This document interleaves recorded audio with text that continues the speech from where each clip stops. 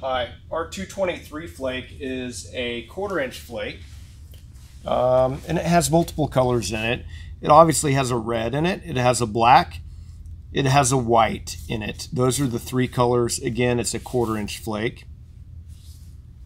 Here's what it looks like fully broadcast into a coating. And again, our 223 flake is available in 25 pound boxes and then five pound containers.